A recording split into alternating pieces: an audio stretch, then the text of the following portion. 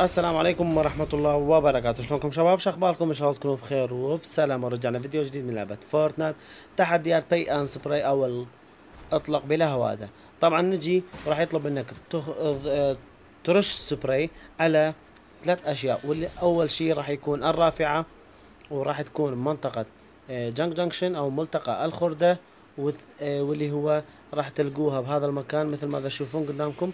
راح ترشون أي سبراي اللي ممكن راح يكمل عندك أول مكان. ونجي لثاني مكان اللي هو أو ثاني شيء اللي ممكن ت- ترش على السبراي وهو vending machine اللي دا تشوفوها اللي تكون راح تكون مثل تكون الثلاجة. مثل ما تشوفون قدامكم أي وحدة بالخارطة راح تلقون اكثرية هواية. موجودة بالخارطة راح تجي وترش عليها السبراي وراح يكمل عندك المكان الثاني أو راح تلقاها طبعا قريبة من منطقة Junk Junction بين منطقة Junk Junction وبلوكيت اللي ممكن تسويه حتى تخلصه بلعبة واحدة.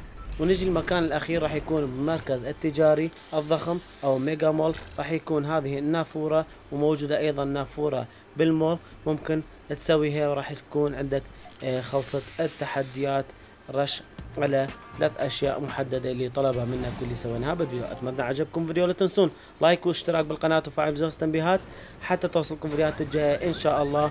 ودعموني بكود الآيتم شوب اللي ظهر على يسار الشاشة. كان معكم أنتر. والسلام عليكم ورحمة الله وبركاته.